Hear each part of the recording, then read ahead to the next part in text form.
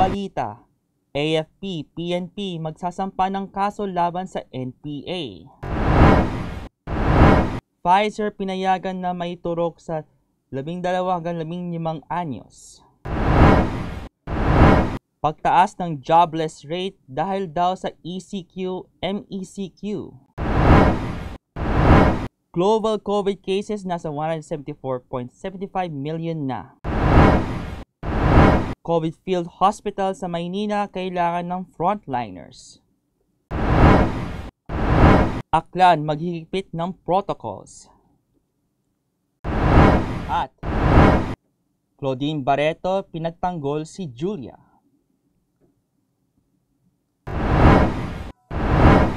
Magandang hapon, ako si Miguel Pao Tugonon at ito ang Tribune News on Q. Narito na ang mga mainit na balita sa oras na ito. Magsasampa ng kaso ang Armed Forces of the Philippines at Philippine National Police laban sa mga miyembro ng New People's Army na responsable sa landmine explosion sa Masbate City. Pagsabog sa bahagi ng Barangay Anas ang football player na si Keith Absalon at kanyang pinsan na si Noven Absalon. Tiniyak ni AFP spokesperson Major General Edgar Arevalo sa mga kaanak ng mga biktima na mabibigyan ng hustisya ang pagpanaw ng mga ito. Sinabi ni Arevalo na nilabag ng NPA ang Republic Act 1951 o Philippine Act on Crimes Against International Humanitarian Law, Genocide at Other Crimes Against Humanity. Inamyenda naman ng Food and Drug Authority ang binigay na emergency use authorization sa Pfizer-BioNTech COVID-19 vaccines matapos aprubahan ang pagturok nito sa mga, sa mga nasa 12 to 15 years old. Sinabi ng FDA Director General Eric Domingo noong Mayo 26, hiniling ng Pfizer na maamyendahan ang kanilang EUA para may turok na rin ang kanilang bakuna sa mga menor de edad. Para rin ng FDA ang Pfizer vaccine ay maaari lang maiturok ng vaccination providers at gagamitin lang para maiwasan na magkaroon ng COVID-19 ang mga edad 12 pataas. Nilinaw naman ni Health Undersecretary Maria Rosario Vergere, bagamat may pagbabago sa EUA ng Pfizer, hindi magbabago ang vaccine prioritization ng gobyerno. Inaasahan naman ni Labor Secretary Sylvester Bello III ang pagtaas ng bilang ng mga walang trabaho sa bansa noong Abril. Bello, bati nila na marami ang nawalan muli ng trabaho nang ipatupad muli ang enhanced community quarantine sa huling bahagi ng nakakaraang Marso at pinalitan lang ito ng modified ECQ noong Abril. Reaksyon ito ng kalihim sa labor force survey noong Abril na umakyat sa 8.7% o 4.138 million ang nawalan ng trabaho kumpara sa 7.1 million o 3.441 million noong Marso. Nangangahulugan ng higit 700,000 ang nawalan ng trabaho sa Metro Manila, Laguna, Cavite, Rizal at Bulacan na bumubuong na tinatawag na NCR+. Magbabalik ang Tribune News on Q pagkatapos ng ilang palay.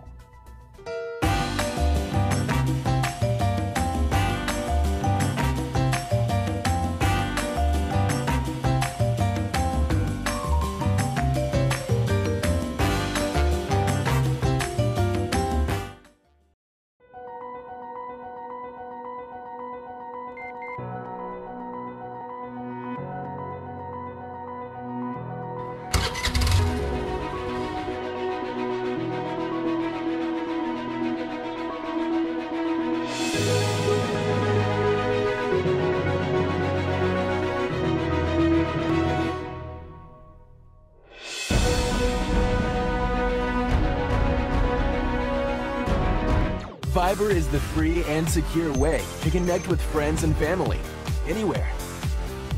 Send messages and make phone and video calls for free. Download Viber now.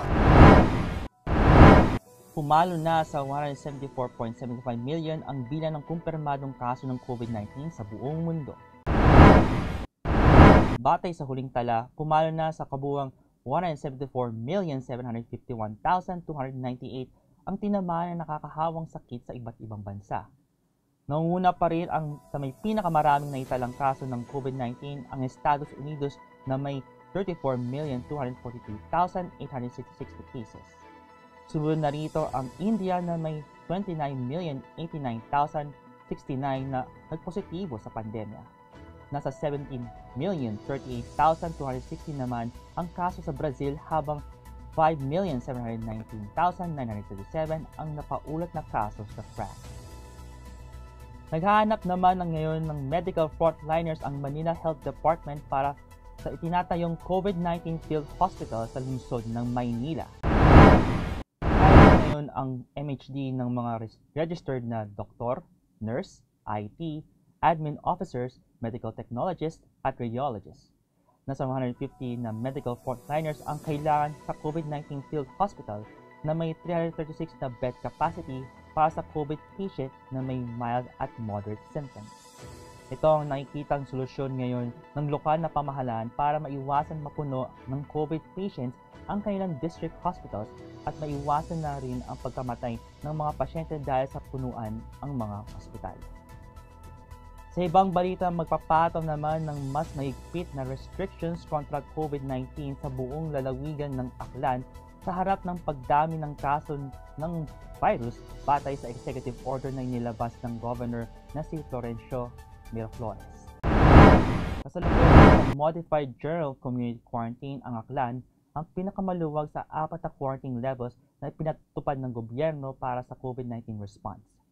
Sa Executive Order Number 005-C Series of 2021 na pinirmahan Martes, pinagbawal na lumabas ng bahay ang may edad 15 pababa at 61 pataas. Bawal ding lumabas ang mga may nakaramdaman kasama na ang buntis, maliban na lamang sa mga lalabas para sa essential goods at services at health and medical reasons. Muli magbabalik ang Tribune News on Q pagkatapos ng ilang paalala.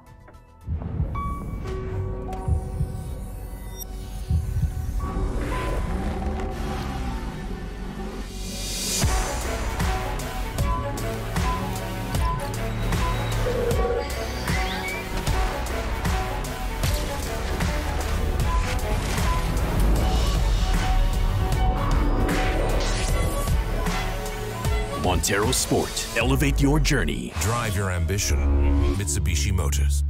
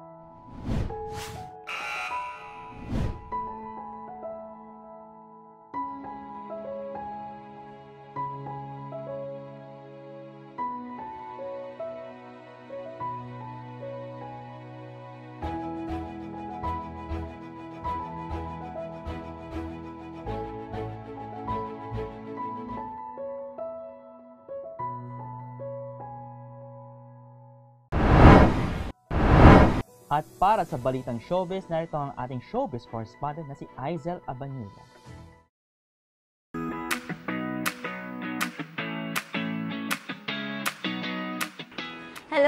Everyone! Welcome back to Tribune Extra. I'm Aizel once again. And for today, syempre meron naman akong bagong balita para sa inyo. Nako, eto. Claudine Barreto, sinabing hindi raw pabagsak ang karera ng pamangkin na si Julia. Nako, magkakabati na nga kaya ang magtsahin. Hmm, alam niyo po, hindi naman sekreto na malalim na ang away sa pagitan ng mga Barreto. Mula po yan sa mga magkakapatid na sina Claudine, Marjorie, Gretchen, at ang iba pa nilang mga kapatid hanggang sa mga anak nito, eh ang lalim na po ng away nila. Ilang beses na rin pong nagkapali nagpapalitan ng masasakit na salita ang pamilya.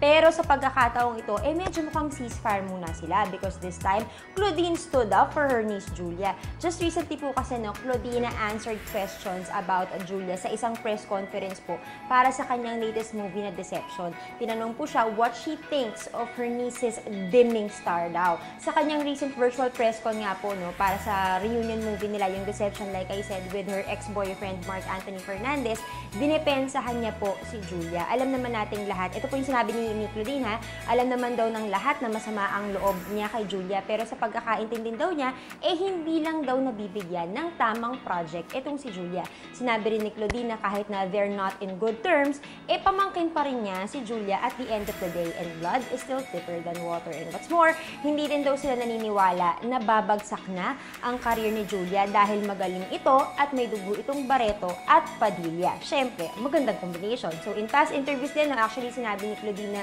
kung sakaling lalapit daw sa kanya ang mga pamangkin niya, kahit na ano pang nangyari, eh hindi pa rin naman daw talaga niya matitiis ang mga ito. Para nga lang daw siyang nanay na nagtampo at kahit ano mangyari, eh ipagtatanggol niya ang lahat ng mga pamangkin niya at siya daw ay kakampi at hindi kaaway. So that really spells good news for the family. Sana nga po ay dumating yung time na magkabati-bati na ang lahat ng members ng Barreto family. Anyway, if there will be any updates on that story, I will definitely keep you posted only here on Tribune Extra. Mag-ingat po tayong lahat.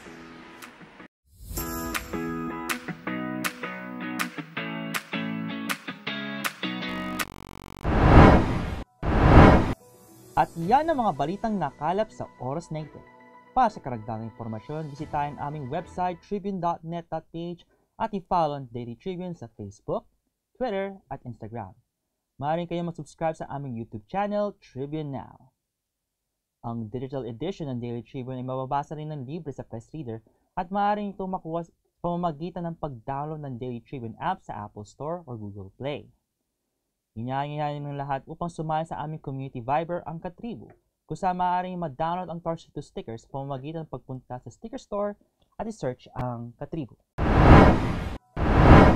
At bago kami tuluyang magtapos, nagpapasalamat ng Tribune News on Q sa The SM Store at sa Araneta City para sa kanilang suporta. Muli ako si Miguel Pao Tagonon. Magandang hapon.